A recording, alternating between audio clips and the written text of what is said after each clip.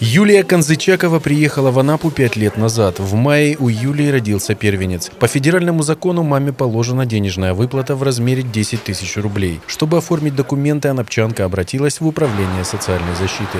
Я еще заранее приходила, узнавала, какие документы будут нужны. И сейчас подошла в МФЦ, дала заявление так как здесь подольше будет. И сходила, узнала результаты и взяла справочки. В Анапе на учете управления состоят свыше 127 тысяч человек. Это более 60% местных жителей. Субсидии положены и многодетным семьям. Они получают ежемесячные денежные выплаты, имеют право на получение детского пособия и льготы. Летом этого года в силу вступил новый федеральный закон. Теперь часть субсидий можно получить не только по месту регистрации, но и по фактическому месту нахождения человека. Среди них пособие по уходу за ребенком и президентская выплата. Для того, чтобы их оформить, не обязательно иметь регистрацию на территории Анапы, Краснодарского края.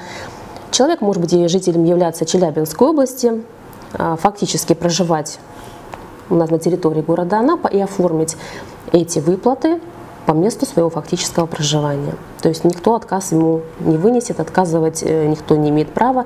Никита Бойко, Ксения Сипко, Михаил Попов, Анапа регион.